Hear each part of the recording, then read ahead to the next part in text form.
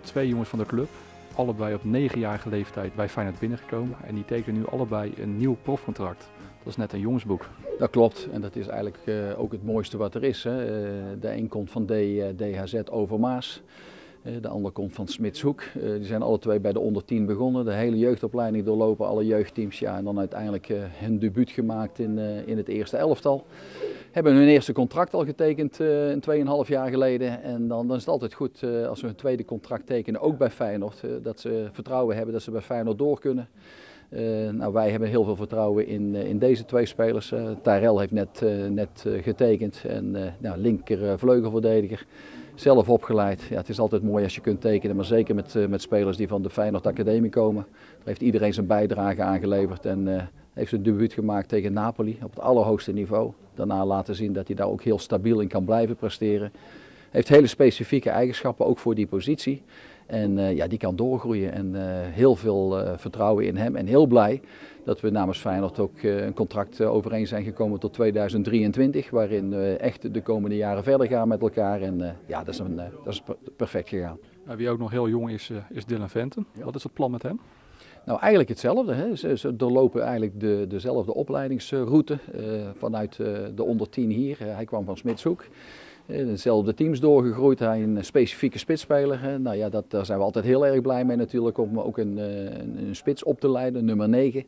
En uh, nou goed, uh, heeft ook zijn debuut gemaakt uh, dit seizoen. heeft ook specifieke kwaliteiten voor die positie. En, en ook heel blij dat we met hem overeenstemming hebben bereikt. Met hem voor vier jaar. zodat we de komende periode met elkaar in kunnen gaan. En hij zal de concurrentie met Nicola Jurgensen, Robin van Persie aan moeten gaan. Nou, het zijn niet de eerste, de beste. Maar hij heeft het vertrouwen dat hij dat op termijn ook kan gaan doen. Nou, daar geven we hem ook de gelegenheid voor. Gewoon een hele stabiele jongen voor onze eerste selectie. Nou, afgelopen zondag speelde hij wat mij betreft ook een, een prima wedstrijd. En uh, nou, dat, uh, dat is een basis om er gewoon op door te gaan.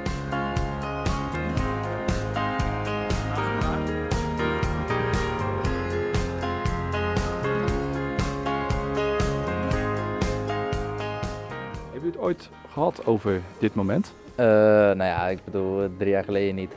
Toen, was je, toen waren we natuurlijk wel blij op. Toen, we ook, uh, toen tekenden we vlak voor elkaar ook uh, een contract, een jeugdcontract. En ja, als je nu dan ja, op dezelfde dag met elkaar kan tekenen, of een half uur later dan, ja, dat, ja, dat is wel mooi. Dat is heel zeker mooi. Wat was jouw grootste motivatie om bij te tekenen? sowieso de plannen die ik heb hier is op Feyenoord. Ik heb veel vertrouwen in de club.